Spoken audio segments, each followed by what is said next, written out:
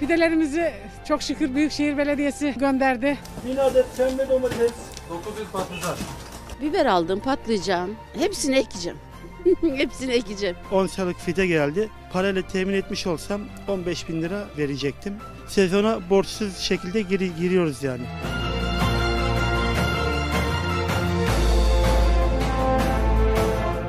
Şu anda Bismillah dedik.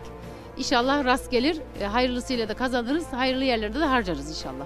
15 ilçede 111 mahallede yaklaşık 610 çiftçi 4 milyon 200 bin fide almış olacak bizden. Biz istedik onlar gönderdi. Eğer fide de olmamış olsaydı yapamazdık yani bu sene dikemezdik kesinlikle.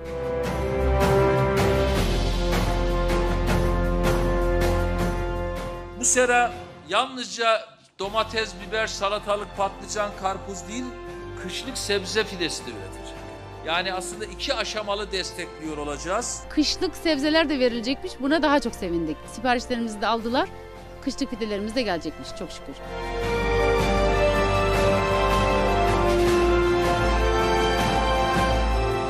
Birsen Hanım, Musa Bey, Yasemin Hanım ve yüzlerce İstanbullu üretici Büyükşehir Belediyesi'nin ücretsiz dağıttığı fideleri toprakla buluşturmaya başladılar. Bizde e, 30 sera var. Dışarıdan mal etmiş olsam bir 50 bin lira kadar e, fazla maliyetim azalmış oldu. Bayağı kazançlı çıkacağız bu sene öyle görünüyor.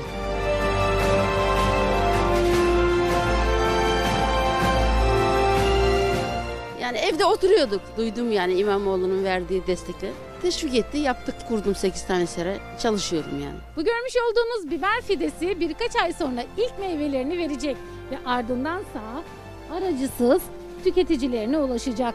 Fideyi vermekle kalmadı. Fidenin de arkasında duruyor. Sebzelerimizi satabileceğimiz bir yer, pazar ayarlıyorlar bize. Bunlar bizim için çok önemli şeyler yani. Biz hiç böyle bir şey görmedik. İlk defa yaşıyoruz böyle şeyleri. Çok mutluyuz. Seviniyoruz yani. Bizim için çok iyi bir şey.